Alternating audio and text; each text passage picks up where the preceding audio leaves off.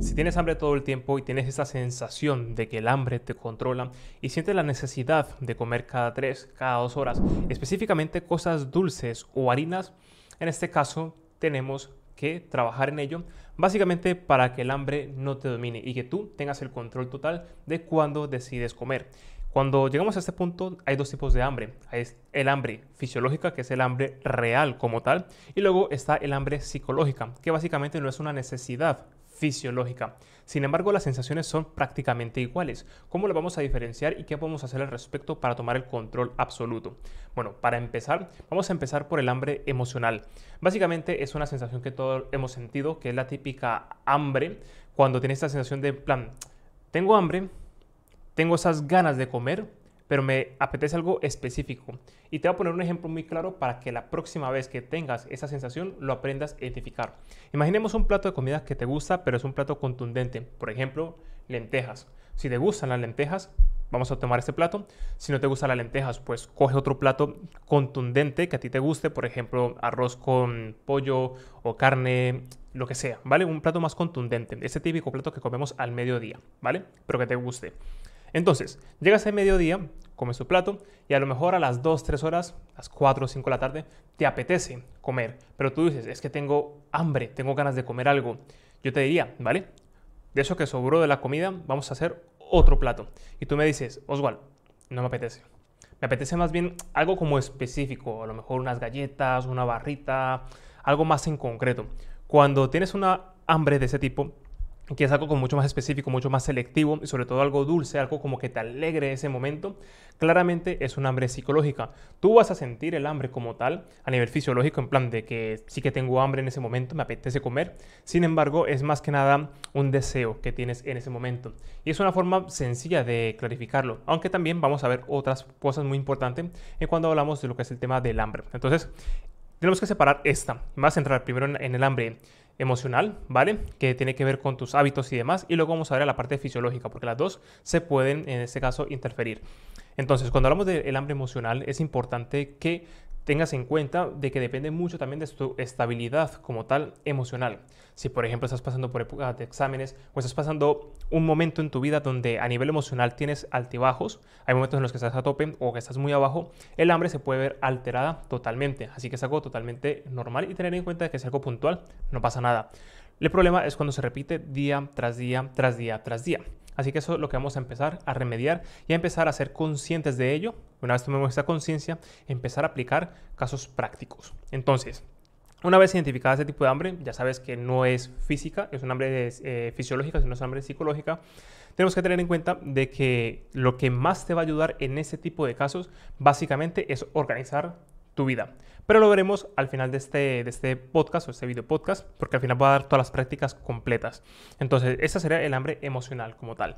Luego estaría el hambre fisiológica, que es un hambre real como tal. Y ahora quiero darte aquí dos pixeladas, y es que tú puedes tener hambre dos veces al día, tres veces al día, cinco veces al día, ocho veces al día. O incluso que te levantes a medianoche con hambre. Todo esto depende de varios factores, el cual también quiero profundizar el día de hoy. Entonces, el número de comidas que tú haces al día depende muchísimo de tus hábitos y el tipo de alimentos que sueles consumir. Entonces, si tú, por ejemplo, estás en tu cultura, en tu país donde vivas ahora mismo, y por cultura comen a una hora exacta, o por los horarios de trabajo comes a una hora exacta, te vas a ir acostumbrando a comer a esas horas. Pero si por lo que sea cambias de trabajo, cambias de país, cambias de cultura, cambias de entorno y los horarios son distintos y te has forzado a cambiar ese horario, lo vas a hacer. Y en el transcurso de un mes aproximadamente te vas a volver a habituar nuevamente a ese nuevo horario. Y al final, básicamente, esos horarios los imponemos nosotros, nuestra cultura, nuestras costumbres. Por tanto, si tú estás acostumbrado a comer cuatro veces al día, puedes acostumbrarte a comer cinco o tres o el número de comidas que hagan falta. Así que si tú, por ejemplo, ahora mismo quieres cambiar tus hábitos alimenticios y uno de ellos va a ser el número de comidas que haces, ten en cuenta de que te vas a habituar al número que tú hagas a lo largo del día. Y de forma natural, si te falta alimentos, si te falta calorías, tu cuerpo te las va a pedir. Y si de esa forma también te estás accediendo, tu cuerpo de cierta forma te va a regular para que no te pases más. Siempre y cuando comas comida real, que es donde también vamos a profundizar el día de hoy. Entonces, dicho esto, vamos a entender que tú puedes tener hambre por varias vías, psicológica o fisiológica, es normal. Y también puedes tener hambre 3, 4, 5, 6, 7 veces al día sin ningún problema. Esto depende de tus hábitos. Entonces, ¿por qué depende mucho este, esta hambre como tal y que te varias veces al día? Por ejemplo, lo que regula el hambre y la saciedad en tu cuerpo son tus hormonas. Es aquí donde quiero profundizar. Y es que tú, por ejemplo, si tienes cinco veces hambre a lo largo del día, hay una hormona en el estómago que se segrega principalmente aquí, que es la grelina. Y esta hormona es la que básicamente te hace sentir esa sensación de hambre. Tú dices, sí, tengo hambre, pero ¿de dónde viene eso? Básicamente son hormonas. Entonces, cuando tú empiezas a comer, y dejas de comer, esa sensación de llenura llega al cerebro. ¿Vale? No es porque tú digas, no voy a dejar de comer por voluntad propia, es que una señal llega a tu cerebro que básicamente dice cuánta energía ha ingerido, que ya está todo bien y vas a sentirte que ya no quieres comer más. Básicamente por hormonas. Entonces, si estás bien hormonalmente, tu circuito, en este caso de hambre y saciedad, va a estar regulado. Sin embargo, si esta parte no está bien, no está funcionando bien hormonalmente, puede estar muy desconfigurado como suele eh, pasar en una persona que tiene mucho sobrepeso, por ejemplo, o una persona que está en infrapeso o cuando está en una época incluso de competición en culturismo, cuando estás en un porcentaje de grasa corporal muy bajo, ya sea por desnutrición, por anorexia o porque estás compitiendo, porque al final llegas a puntos muy bajos, vas a sentir un hambre brutal y tus hormonas están muy desorganizadas en ese momento. Así que eso es muy importante tenerlo en cuenta. Entonces, pasando a la práctica, ¿qué podemos hacer al respecto? En la parte emocional, si esta es la cuestión que a lo mejor tienes en este caso una vida muy descontrolada y es una etapa en la que estás pasando, es normal que tengas hambre en momentos puntuales y que tengas ganas de comer o incluso se te cierre el estómago y no tengas ganas de comer muchas cosas, es totalmente normal y de entender. Y si es momentos puntuales, no pasa absolutamente nada. Si un día comes menos o comes más por estas sensaciones, no pasa nada. El problema es cuando se repite con frecuencia. Por tanto, una de las recomendaciones que te puedo hacer es directamente empezar teniendo más claridad y planificar tu vida. Por ejemplo, no sé si me estás escuchando ahora en Spotify o en otras plataformas. Aquí es en este vídeo en YouTube, si me ves en YouTube. Aquí tengo una agenda y esto te va a ayudar un montón en cuanto a lo que es la organización. ¿Vale? Porque tú cuando te organizas a lo largo del día, ya sabes en qué momentos puedes incluir todas tus actividades y una de ellas va a ser la alimentación. Cuando tú te organizas y tienes más control de lo que vas a hacer a lo largo del día, vas a saber qué espacios tienes. Y en esos espacios puedes incluir esa comida. Y si ya sabes de, de mano, de antemano, de que por ejemplo vas a tener un día muy ocupado, un día muy puntual, te puedes organizar tu comida. En plan, de comer bien antes de empezar esas actividades o hacer un ayuno intermitente y cuando comas, comer comida de verdad contundente para, en este caso, llegar a tus requerimientos diarios. Pero cuando lo dejas todo como muy al azar, lo que vas a encontrar son alimentos o comidas o preparados al azar. Y muchas veces cuando llegamos a casa dicen, no, pues yo como lo primero que pille. Y si tienes malos hábitos anteriores, es decir, que ya has comprado comida basura y la tienes en casa, pues lo que pilles vas a pillar basura. Y si estás en casa, perdón, fuera de casa en el trabajo y no tienes la disponibilidad de comer alimentos de verdad, vas a pillar lo primero que pilles y vas a comer mal. Por ejemplo, cuando he trabajado con muchos clientes, me dicen, Oswald, es que por mi trabajo yo no puedo comer bien porque los horarios no me dan y tengo que comer en el trabajo. Y yo te pregunto, ¿cuánto llevas trabajando allí? Pues 10 años. ¿Y piensas trabajar los próximos 10 años allí? Muchas veces sí. Entonces tú vas a estar 10 años, los próximos 10 años, desorganizado por culpa del trabajo. Realmente no es culpa del trabajo como tal, si vamos a nombrar un culpable. Realmente es falta de organización, porque si sabes que vas a estar allí durante mucho tiempo, organízate. Si tú me dices que voy a estar una semana así, pues vale, se puede entender que a lo mejor no hagas grandes cambios porque apenas va a implicar una semana o dos días. Pero cuando vas a estar muchos meses, años, y eso va a implicar directamente en tu salud, es importante que lo planifiques desde ahora. Si ves que por lo que sea no puedes comer buenos alimentos allí, directamente prepáralos en casa y llévalos. Y tienes que sacar el hueco para hacerlo pero si no lo planificas no lo vas a poder organizar. Así que eso sería prioritario para tu vida. Así que es, es, muy importante que si pasas por ese tipo de momentos, primero asegúrate de estar bien en cuanto a lo que es eh, la organización para tener más control, porque si no lo puedes eh, controlar va a ser muy difícil. Y por otro lado, en este caso a nivel emocional es muy importante que estés pasando por una etapa en la que estés lo más estable posible, porque si es verdad que es difícil hacer cambios cuando hay un momento muy turbio, cuando hay un momento muy inestable. Así que, por ejemplo, yo te recomiendo que cuando empieces a, a tomar riendas en el asunto en cuanto a la alimentación, primero tratar, ¿vale?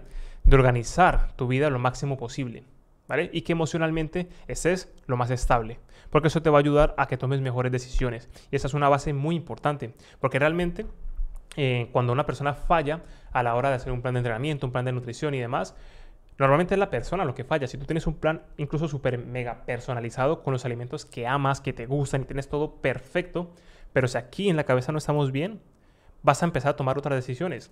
Si tú tienes, por ejemplo, un plan de entrenamiento como tal, y también tienes eh, un plan de alimentación, tres días por semana el entrenamiento, sencillito, que lo puedas hacer, pero ese día te levantas con el ánimo que no te apetece salir a entrenar, no vas a entrenar por el plan más perfecto que sea. Entonces, si este es el caso, lo primero que tienes que organizar es estar de aquí dentro, esa mentalidad y que estés bien emocionalmente. Y cuando digo esto, no me digas, ah, vale, no voy a tocar la dieta ahora, primero voy a estar bien emocionalmente y te tiras un año estando bien. Pues tampoco, la idea es que empieces esto ya para que la semana que viene trates de, en este caso, de mejorarlo. Es algo que tienes que tomar en el asunto cuanto antes, y cuanto antes es ya, ¿vale? Ahora bien, cuando tenemos esta estabilidad emocional, ¿Qué debemos de tener en cuenta a la hora de los alimentos? Y es que dependiendo del tipo de alimentos que tú consumas en tu día a día, te van a afectar más o menos en tus mismas sensaciones de hambre. De hecho, tú puedes comer en cuanto a volumen poca cantidad de comida, ¿vale? Y, estar consumiendo una gran cantidad de calorías que te hacen subir de peso, no te das cuenta, pero tu percepción es de que comes poco. de hecho, he trabajado con un montón de personas así. Me dicen, Oswald, es que yo realmente no como mucho pero es que realmente los alimentos que están ingiriendo, ¿vale? Son muy calóricos. Y son alimentos, en este caso los procesados, en este caso la bollería, los dulces, las comidas empaquetadas y demás, son muy calóricas y te estimulan el apetito. De hecho, como te digo, he trabajado con un montón de personas con múltiples, digamos, eh, situaciones y una de las que más se repiten son estas, que a lo mejor comes poco y bueno, la sensación de que comes poco pero te estás engordando y encima tienes hambre y tienes antojos todo el tiempo y te estás como controlando y encima sigues subiendo de, porcentaje de grasa. ¿Qué está pasando? Muchas veces es esta elección de los alimentos, porque al final si tú el desayuno, la comida y la cena metes procesados todo el tiempo, estás consumiendo muchas calorías y esto no las calorías como tal, sino que el tipo de alimento te está desestabilizando, en este caso la sensación de hambre y saciedad. Por tanto, cuanto más procesado consumas, más procesado te vuelves en cuanto a la, adicción como tal, que vas a preferir cada vez más ese tipo de productos alimenticios. Y además, la sensación que va a tener tu cuerpo de hambre y saciedad y esa estabilidad se va a romper entonces, cuanto más alimentos reales consumas, más estable van a estar tus hormonas, más estable va a estar la sensación de hambre y saciedad y más estable va a estar, en este caso, tu peso corporal. Así que lo que yo te recomiendo siempre también lo he hablado en muchos vídeos, es primero, aprende a cocinar, come alimentos que realmente te gusten, porque realmente tienes un abanico enorme de alimentos que puedes ingerir en tu alimentación.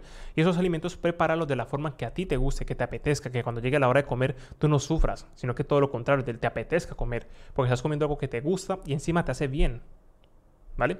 Entonces, si eliges unos buenos alimentos, que básicamente, siempre pongo el mismo ejemplo, imagínate que te vas a la selva, y tienes la disponibilidad de lo que quieras, tanto animal como vegetal. Puedes comer frutas, vegetales, eh, carne de todo tipo, peces, huevos, lo que tú quieras. Es lo que vas a comer.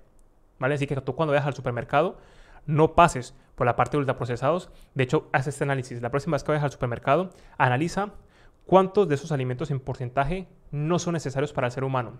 Y sale normalmente más del 90% de los alimentos que tú ves en los supermercados es basura solamente te vas a la parte donde están los, lo fresco, que están los peces, las carnes y demás, y las frutas y las verduras. Ya está. Quizás te vas donde están, en este caso, los cereales, no los cereales azucarados, sino los cereales de verdad, que es la avena, el arroz y demás. Y son dos pasillos, tres pasillos en el supermercado. Así que eso es la base como tal y, pues, es una gran variedad. Y a partir de aquí, cocínalos como a ti te gusten. Puedes hacer una gran cantidad de platos. Ya también te he dado un montón de ejemplos en mi canal como tal de cosas que puedes hacer para que no tengas la sensación de estar a dieta, esta dieta restrictiva. Que la restricción, cuando empezamos con restricciones, ya empezamos mal porque no vas a poder mantenerlo. Así que si comes alimentos de verdad, la sensación de hambre cada vez se va reduciendo más. Entonces, si haces un desayuno de calidad, a media mañana no vas a tener tanta hambre o directamente no vas a tener hambre. Y si te da hambre, no comas basura, porque si comes basura, comes magdalenas, comes galleta, eso te va a alterar el hambre nuevamente. Y en una hora vas a tener un montón de hambre. Vas a decir, pero es que acabo de comer. Y es que yo necesito comida todo el tiempo. No, no, no, no. Es que estás comiendo alimentos ultraprocesados que te desestabilizan hormonalmente y te hacen dar hambre. Cuando entiendes esto, ya todo cambia. Porque ya es tu decisión personal de saber qué alimentos ingieres con frecuencia. Y no te estoy diciendo que renuncies para siempre a ese tipo de alimentos, porque realmente puedes incluirlos sin ningún problema en tu dieta de vez en cuando. No pasa absolutamente nada, yo soy el primero que los consume. Sino que el 80% aproximadamente de lo que tú elijas diariamente sea comida de verdad. Y si lo preparas de la forma que a ti te gusta y que sea saludable, esa sensación de estar a dieta se elimina para siempre. Así que eso será lo, eh, primero que vamos a empezar a hacer, estar bien emocionalmente y también aplicar en este caso eh, los alimentos de verdad.